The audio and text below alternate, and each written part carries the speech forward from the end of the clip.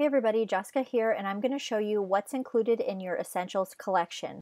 Now, I'll go in more in depth in other videos about how to use your product, but this is just to show you what's included uh, in a brief overview. So we've got the Essentials here, your brush libraries, there's two brush libraries, and these are the actual, obviously, brush libraries that you will load up into Illustrator to use your product if you want. Um, another thing that I've made that is really nice is the copy and paste brush charts. And if we go over here to Illustrator, you'll see what they include. And this is um, one, one, it's a really handy reference of all your brushes. And two, they're already loaded up here.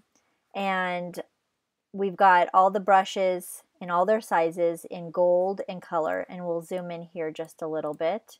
And you'll see you've got all of the brushes already applied.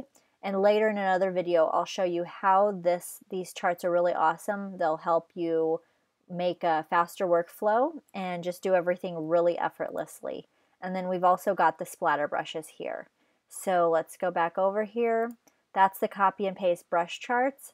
Then we've also got these Photoshop bonus styles, and that's for those who, like me, prefer to work more in Photoshop. So I just use the Illustrator to paint my brushes, and then I bring them over into Photoshop, and I prefer to do um, more artistic work there within Photoshop.